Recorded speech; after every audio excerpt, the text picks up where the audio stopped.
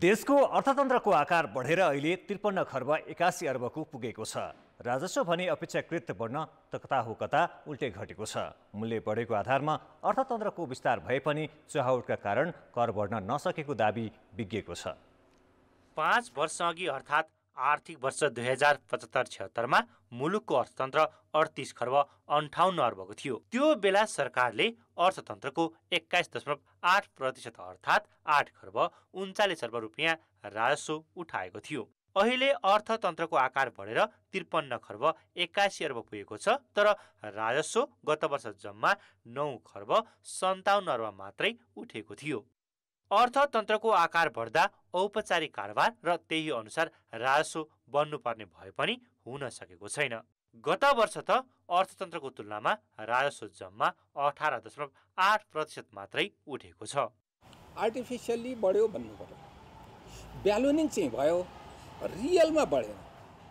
इन्फ्लेसनले inflated चाहिँ भयो रियलमा बढेन कि। रियल भ्यालु क्रिएसन भएन। रियल क्यापिटल क्रिएसन भएन रियलमा मान्छेको चाहिँ इन्कम बढेन अन्तर्राष्ट्रिय कारणले गर्दा त्यसमा मूल्य बढेको छ हाम्रो हातमा छैन। त्यस कारणले तपाईँले भने जिडिपी जुन छ जिडिपी जुन ढङ्गले बढ्यो त्यो ढङ्गले राजस्व बढेन। अहिलेसम्म प्राप्त राजस्वले यो वर्ष पनि लक्ष्य अनुरूप असुली हुन कठिन छ। गत वर्षको असोज पच्चिस गतेसम्म एक खर्ब सतासी अर्ब राजस्व सङ्कलन भएकोमा यो वर्षको त्यही अवधिमा दुई खर्ब चार अर्ब मात्रै भएको छ। गत वर्ष सरकारले नै आयात घटाएका बेला उठेको राजस्वकै हाराहारीमा यो वर्ष राजस्व उठ्नुले क्षमता घट्दै गएको देखिन्छ। कारोबारमा कमी उपभोग र सरकारी खर्चमा भएको गिरावटले राजस्व प्रभावित भएको हो। विगत पाँच वर्ष यताको तथ्याङ्क केलाउने हो भने अर्थतन्त्रको विस्तार अनुरूप सरकारले राजस्व बढाउन सकेको छैन।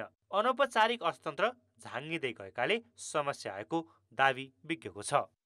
एक वर्षमा राजस्व अनुपात चार प्रतिशतले घट्नु भनेको यो ठुलो धक्का हो। यो सरकारको अर्थतन्त्रलाई सपोर्ट गर्ने र आवश्यक पर्दा नेपाली जनतालाई राहत दिने जुन सरकारको क्षमता हुन्छ त्यसमा कर्मिक कमी आउँदै गरेको र पूर्वाधारमा अब सरकारले लगानी गर्न सक्दैन। अब सरकारको नीतिगत पहल कदमी सरकारको बजेट मार्फत केही गर्न सकिँदैन भन्ने कुराको यो घोतक हो यो सूचक हो जस्तो लाग्छ। राजस्व बढाउनका लागि सरकारले खर्च गर्ने क्षमता बढाउनु त छँदैछ चुहावट नियन्त्रणमा पनि उत्तिकै ध्यान दिनु जरुरी छ। कान्तिपुर समाचारका लागि क्यामेरामा रूपक कोइराला र विकास जोशीका साथ सुधिल पोखरेल काठमाडौँ।